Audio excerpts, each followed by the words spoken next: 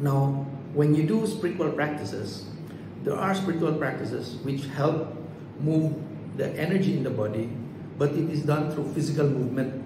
So there's the certain uh, positions or, or in, in yoga they call them the asanas and hand positions, the mudras, and certain breathing techniques uh, which move the energy in the body as part of the spiritual practice. And there's the different breathing techniques that are uh, done during uh, specific meditations. Some meditations will have certain breathing techniques, other meditations will have other breathing techniques. And the breathing is supposed to help guide the movement of energies in the body, uh, which are needed for spiritual progress.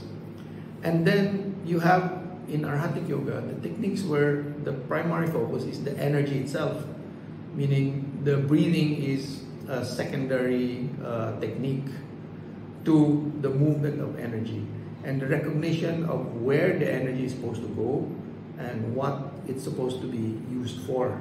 So this is an aspect that is uh, not touched upon by too many schools. The recognition, for example, that Kundalini is a form of energy. It is an energy and it is it has a certain location uh, and it has a certain source and that it can be evolved uh, like other other energies that that uh, grow and evolve in the body in the course of the spiritual practice.